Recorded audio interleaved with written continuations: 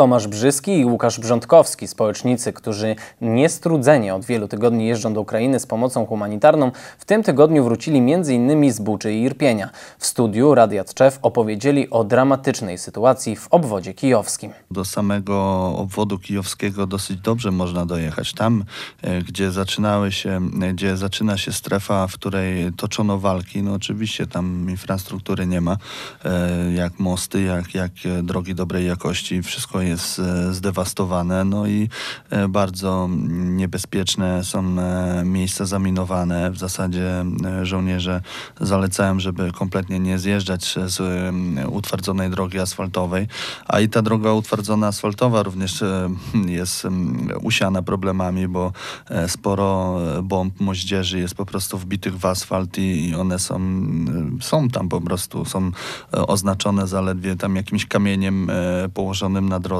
i takie miejsca trzeba omijać, więc e, jazda po zmroku w ogóle już e, odpada. Kontakt z mieszkańcami no niesamowity. No, my w zasadzie to, ja widziałem po Łukaszu, że był taki zaskoczony, bo my tam dojechaliśmy, wysiedliśmy z samochodu i po prostu już trzeba było e, zacząć pomoc. Trzeba było biegać z kartonami, rozdawać, e, e, tym wszystkim kierować. Oczywiście tam na miejscu pomagali nam e, ludzie, wolontariusze na miejscu, bo, bo inaczej no to w ogóle byłoby ciężko, ale tak w zasadzie mm, ja odniosłem takie wrażenie, jakby ci ludzie na nas czekali.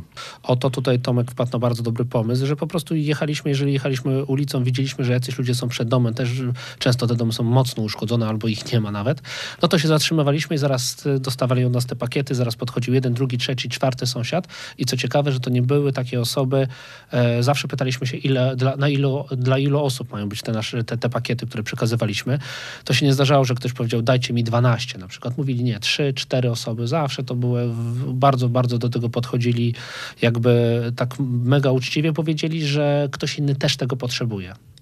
Ja za każdym razem... E, tak sobie po cichu mówię, że to już jest ostatni raz, ale no, ludzie proszą i stamtąd, i z tutaj e, o pomoc dla, dla rodzin, dla, dla... później mamy jakieś informacje, gdzie konkretnie już naprawdę trzeba zawieść poważne jakieś rzeczy, no i, i, za każdym razem jedziemy dalej, no i tym razem też będziemy się wybierali e, dalej z pomocą. Przygotowujemy transport na, na 6 maja i, będziemy się starali dowieść te rzeczy tam, gdzie są najbardziej potrzebne.